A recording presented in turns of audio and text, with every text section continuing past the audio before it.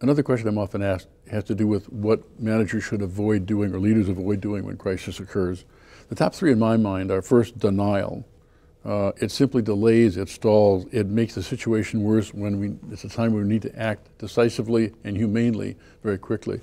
The second is what I call victim confusion. It is the, the, notion that somehow, as the perpetrators, we're also victims in this fight. You hear this all the time. You know, well, we're victims too. Actually, um, the only victims out there are the true victims from the public's perspective rather than yours. And the third one is what I call management by whining around. There's a lot of whining that goes on uh, by managers when these things happen. Stop it, stop it, stop it.